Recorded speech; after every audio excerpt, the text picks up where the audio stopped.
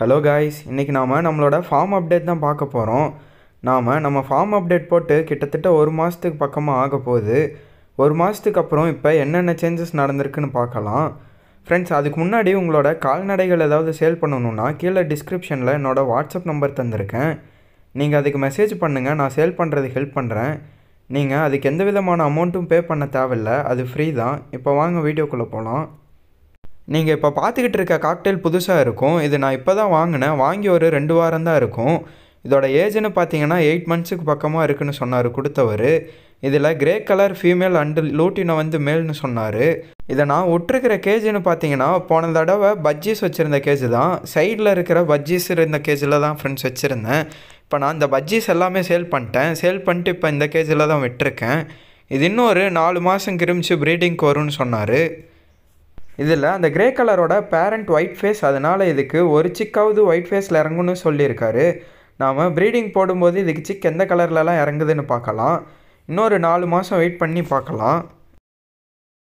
போன அப்டேட்டில் பார்த்தீங்கன்னா இந்த ஃபிஷ்ஷெல்லாம் இருந்திருக்காது. நான் அப்டேட் போட்டு ஒரு வாரம் கிரிமிச்சு இந்த ஃபிஷ் வாங்கியிருந்தேன். இது நான் கன்னியாகுமரியில் ஒருத்தர்கிட்ட வாங்கியிருந்தேன். அனீஸ்ராஜ் அவர் பேர். நான் இது வாங்கி ஒன் மந்த்து பக்கமாக ஆக போகுது நான் வாங்கினப்போ அன்பாக்சிங் வீடியோ போட்டிருந்தேன். அதில் அவரோட காண்டாக்ட் நம்பர் இருக்குது நீங்களும் வேணும்னா அவரை காண்டாக்ட் பண்ணி கேட்டுக்கோங்க. அவர் ஹோல்சேல் ப்ரைஸில் சேல் பண்ணுறாரு நீங்கள் ரீட்டெயிலில் வாங்கினீங்கன்னா பேர் நானூறுரூவா வரதெல்லாம் இவர் நூறுரூபாய்க்கு தான் சேல் பண்ணிக்கிட்டு இருக்காரு. வேணா அவரை காண்டாக்ட் பண்ணி கேட்டுக்கோங்க. நான் அந்த வீடியோவோட லிங்க் டிஸ்கிரிப்ஷனில் கொடுக்குறேன். அதில் அவரோட காண்டாக்ட் நம்பர் இருக்கும். நான் வாங்கின வெரைட்டின்னு பார்த்தீங்கன்னா ஃப்ளமிங்கோ ரெட் ரோஸ் வெரைட்டி இது நான் வாங்கினப்பயே குட்டி ஒரு ரெண்டு நாளில் போட்டுருன்னு சொல்லியிருப்பேன். இப்போ பார்த்தீங்கன்னா ரெண்டு பேட்ச் குட்டி இறங்கிருச்சு ஃப்ரெண்ட்ஸ் இதில் சின்ன சின்ன ஃப்ரைஸாக இருக்கிறது போட்டு இப்போ ஒரு ரெண்டு வாரம் இருக்கும். அதை விட கொஞ்சம் சைஸ் பெருசாக இருக்கிறது இப்போ போட்டு ஒன் மந்த்துக்கு பக்கமாகவே இருக்கும். அடுத்ததாக மாடு எருமையும் பார்க்கலாம். மாடு எருமையும் நல்லா தான் இருக்குது இதில் அப்டேட்னு பார்த்தீங்கன்னா ஒரு எருமை மட்டும் கண்ணுக்குட்டி போட்டிருக்குங்க. அது கண்ணுக்குட்டி போட்டு இப்போ ஒரு மாதத்துக்கு பக்கமாக இருக்கும். அதை பார்க்கலாம் வாங்க. ஃப்ரெண்ட்ஸ் இதுதான் இந்த கண்ணுக்குட்டி. இது கண்ணுக்குட்டி போட்டு இப்போ ஒரு மாதத்துக்கு பக்கமாக ஆக போகுது இது கடா கண்ணு இதோட அம்மான்னு பார்த்தீங்கன்னா இதுதாங்க. இது ஃபஸ்ட்டு டைம் கண்ணுக்குட்டி போட்டிருக்கு. தலையத்துங்கிறதுனால பால் கம்மியாக தாங்க இருக்கும். இப்போ பால் கறக்கிறதுன்னு பார்த்தீங்கன்னா மூணு எருமை பால் கறக்குதுங்க. அடுத்ததாக இந்த மூணு சேவல் பட்டா பார்த்தீங்கன்னா போன தடவை இருந்திருக்காதுங்க. இது இப்போ புதுசாக இருக்கும். இது மூணு பார்த்தீங்கன்னா பாட்டி வீட்டிலேருந்து பிடிச்சிட்டு வந்து விட்ருக்கோங்க இது கொண்டுட்டு வந்து விட்டு இப்போ ஒரு மூணு வாரத்துக்கு பக்கமாக ஆக போகுது இந்த சேவலோட வயசுன்னு பார்த்தீங்கன்னா ஏழு மாதத்துக்கு பக்கமாக இருக்குங்க. இது ஆவரேஜாக இப்போ மூணே கால் டு மூன்றரை கிலோவுக்கு பக்கமாக இருக்கும். இதெல்லாமே பெருவடையை சேர்ந்த ரகங்க. அதனால ஆவரேஜாக வெயிட் நாலரை கிலோவுக்கு மேலே வரும். போன அப்டேட்டில் இருந்ததுலேயே இந்த ஒரு சேவல் மட்டும்தாங்க இப்போதைக்கு இருக்குது இது இன்னும் ஒரு ரெண்டு வாரத்தில் கொடுத்துருவாங்க. நான் இருக்கிற கோழி எல்லாத்தையும் அழிக்கிறதுக்கான காரணம் என்னென்னா வேற ஒரு ரகம் வாங்கலான்னு இருக்குன்னு சொல்லியிருந்திருப்பேங்க. அதனால தான் இப்போ பார்த்தீங்கன்னா அந்த ரகம் வாங்கிட்டேங்க. அது என்ன ரகம்னு இந்த வீடியோலேயே பார்க்கலாங்க. இந்த சேவல் இன்னொரு ரெண்டு வாரத்தில் கொடுத்துருவாங்க. நான் வாங்குறேன்னு சொல்லியிருந்த ரகம் பார்த்தீங்கன்னா மீட்டர் வால் ரகங்க. இதோட வால் பார்த்தீங்கன்னா மூணு அடிக்கு மேலே தாங்க வரும். அந்த ரகம் தாங்க வாங்கியிருக்கேன். இது பார்த்தீங்கன்னா ஒரு மூணு டு நாலு மாதத்து குஞ்சுங்க. இதில் ஃபஸ்ட்டாக இருக்கிறது பார்த்தீங்கன்னா வெடங்க. பின்னாடி இருக்கிற காகம் பார்த்தீங்கன்னா சேவல். இது நான் வாங்கி இப்போ ஒரு இருபது நாளைக்கு பக்கமாக இருக்குது இது நான் அடைச்சே தான் வச்சுருக்கேன். காரணம் என்னென்னா இது வாங்கினதுலேருந்து சளி இருக்குங்க. தண்ணியும் கிளைமேட்டும் மாறினதுனால சளி பிரச்சனை வந்திருக்குங்க. இதுக்கு ட்ரீட்மெண்ட் பண்ணிக்கிட்டே தான் இருக்கேன். இது இன்னும் கொஞ்சம் நாளில் சளி சரியாயிரும்னு நினைக்கிறேன்.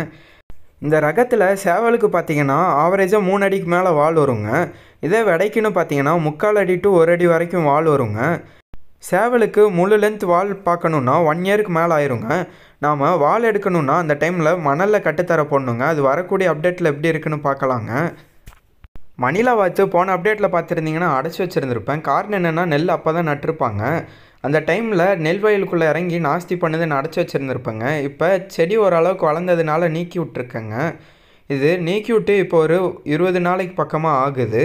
இதில் ஃபஸ்ட்டாக இருக்கிறது பார்த்தீங்கன்னா ஆண்ங்க பின்னாடி இருக்கிறது பெண். இதோட கலர் பார்த்தீங்கன்னா லாவெண்டர்னு சொல்லுவாங்க. இது இன்னொரு ரெண்டு மாதத்துக்குள்ளே முட்டையிடுற பருவத்துக்கு வந்துடும் அடுத்ததாக ஆடு பார்க்கலாங்க. ஆடில் பார்த்தீங்கன்னா பெரிய ஆடு ரெண்டு இருக்குங்க. அதில் இது ஒரு பெரிய ஆடு இன்னொரு பெரிய ஆடு பார்த்தீங்கன்னா இதுதாங்க. இது மற்றது ரெண்டுமே குட்டி தாங்க இருக்குது ரெண்டு குட்டியில் பார்த்தீங்கன்னா ஒன்று கெடா குட்டி இன்னொன்று மூட்டு குட்டிங்க. அதில் பேக் சைடு இருக்கிற ஒயிட் கலர் பார்த்தீங்கன்னா மூட்டு குட்டிங்க. இது பார்த்தீங்கன்னா கெடா குட்டி. அடுத்ததாக மயில்புறா பார்க்கலாங்க மயில்புறாவில் பார்த்தீங்கன்னா ஒரு ஆண் புறா மிஸ் ஆயிடுச்சுங்க அது மிஸ் ஆனதுனால அதோட பேர் பார்த்தீங்கன்னா ஒரு சாதா புறா கூட மேட்டாய் இப்போ எக் லே பண்ணியிருக்குங்க. அது எந்த பேருன்னு பார்க்கலாம் இப்போ நீங்கள் பார்த்துக்கிட்டு இருக்கிற பிளாக் கலர் பார்த்தீங்கன்னா ஒரு மேல் புறாங்க. அது பக்கத்தில் ஒரு ஒயிட் கலர் ஆண் புறா இருக்குது பார்த்தீங்களா? அதுதாங்க ஒரு பெண் புறா கூட மேட்டாகிட்டு இருக்கு. நான் அதனால் அந்த ஃபீமேல் புறாவை வித்தரலான்னு இருக்குங்க. அது எந்த புறான்னு பார்க்கலாங்க. ஃப்ரெண்ட்ஸ் இந்த மயில் புறா தான் அந்த சாதா புறா கூட மேட்டாகிட்டு இருக்கு. இது இந்த டைம் பார்த்தீங்கன்னா அந்த சாதா புறா கூட மேட்டாகி தான் ஃப்ரெண்ட்ஸ் எக் லே பண்ணியிருக்கு. இது போன தடவை பார்த்தீங்கன்னா இன்னொரு ஆண் மயில் புறா கூட மேட்டாகி எக் லே பண்ணியிருந்தது. அது குஞ்சு பொறிச்சிருந்தது மொத்தம் ரெண்டு குஞ்சு பொரிச்சது அதில் ஒரு குஞ்சு இறந்துருச்சு. இப்போ பார்த்தீங்கன்னா இந்த ஒரு குஞ்சு தான் ஃப்ரெண்ட்ஸ் இருக்குது இப்போ நீங்கள் பார்த்துக்கிட்டு இருக்கிற சிக்கு மயில் புறாக்கே ஆனது தான். இதோட பேரண்ட் ரெண்டுமே மயில் புறா தான். ஆனால் இப்போ எக் லே பண்ணியிருக்கிறது தான் சாதா புறாக்கான எக்கு ஃப்ரெண்ட்ஸ் நீங்கள் இப்போ பார்த்துக்கிட்டு இருக்கிறது பார்த்தீங்கன்னா ஸ்டார்டிங்கில் காமிச்ச அந்த பிளாக் கலர் மயில் புறாவோட பேர் இது இப்போ தேர்டு கிளச் எக் லே பண்ணியிருக்கு. போன தடவை ரெண்டு கிளச் எக் லே பண்ணது ரெண்டுமே வேஸ்ட் ஆயிடுச்சு அது சிக் பொறிக்குது ஆனால் காப்பாற்ற மாட்டேங்குது. இந்த கிளச்சும் இதே மாதிரி பண்ணுச்சுன்னா முட்டையை சாதா புறாவில் தாங்க மாற்றி வைக்கலான்னு இருக்கேன். ஃப்ரெண்ட்ஸ் இந்த மயில் புறாக்கு பேர் வாங்கலாங்கிற ஐடியா இல்லை. அதனால் இந்த ஃபீமேல் மயில் புறாவை நான் சேல் பண்ணிடலான்னு இருக்கேன். வேணுங்கிறவங்க கீழே டிஸ்கிரிப்ஷனில் இருக்கிற நம்பருக்கு வாட்ஸ்அப் மெசேஜ் பண்ணுங்கள் நான் உங்களுக்கு டீட்டெயில்ஸ் சொல்கிறேன் என்னோடய லொக்கேஷன் பார்த்தீங்கன்னா நாமக்கல். இதோட ப்ரைஸ் பார்த்தீங்கன்னா நான் அந்த ஒரு பீஸ் மட்டும் தௌசண்ட் ருபீஸ்னு தந்துடலான்னு இருக்கேன். இது ஃபுல்லி அடல்ட்டு தாங்க. இது வரைக்கும் ஒரு கிளச்சு தான் எக் லே பண்ணியிருக்கு. டிரான்ஸ்போர்ட் பாசிபிள் இல்லை ஃப்ரெண்ட்ஸ் அடுத்ததாக ஃபஸ்ட்டு புறா குண்டில் என்னென்ன சேஞ்சஸ் நடந்திருக்குன்னு பார்க்கலாம். எல்லா புறாவும் ஓய்வு எடுத்துக்கிட்டு இருக்குங்க. இந்த வீடியோ எடுக்கும்போது டைம் பார்த்தீங்கன்னா ஒரு பத்து மணிக்கு பக்கமாக இருக்கும். அதனால தான் எல்லாம் மேய்ச்சல் போயிட்டு வந்து ஓய்வு எடுத்துக்கிட்டு இருக்கு. இதில் அந்த ஒயிட் கலர் புறா பார்த்தீங்கன்னா அடையில் இருக்குங்க. இந்த டைம் பார்த்தீங்கன்னா இதில் குஞ்சும் நிறையா இருக்குங்க. அதே மாதிரி எக்லியும் நிறையா இருக்குங்க. இதில் பாருங்கள் ஒரு ரெண்டு குஞ்சு இருக்குது அதுக்கு பக்கத்து ரேக்கில் பார்த்தீங்கன்னா ஒரு புறா அடையில் இருக்குங்க. அது மொத்தம் ரெண்டு எக் லே பண்ணியிருக்கு. கீழே பார்த்தீங்கனாலும் ஒரு சாத புறா அடையில் இருக்குங்க. இந்த ரேக்கில் பார்த்தீங்கன்னா ஒரு ரெண்டு புறா குஞ்சு இருக்குங்க. இது பறக்கிறதுக்கு இன்னும் ஒரு ஒரு வாரத்துக்குள்ளேயே பறக்க ஆரம்பிச்சிருங்க. இதுக்கு மேல் ரேக்கில் பார்த்தீங்கன்னா ஒரு ரெண்டு முட்டை இருக்குங்க.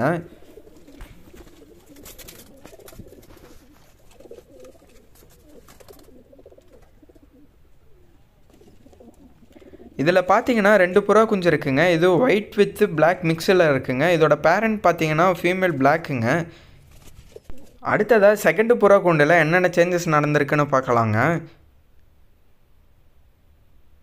இந்த புறா குஞ்சு பார்த்தீங்கன்னா இன்னொரு ரெண்டு டு மூணு நாள்லேயே கூண்டை விட்டு வெளியே வந்து பறக்கிறதுக்கு ஆரம்பிச்சிருங்க. இதோட பேரண்ட்டுன்னு பார்த்தீங்கன்னா மேலே இருக்கிற இது தாங்க இதுக்கு பேக் சைட் பார்த்தீங்கன்னா இன்னொரு சிக்கு இருக்குது பாருங்கள் இதுவும் கீழே பார்த்த சிக்கும் ஒரே பேர் தாங்க.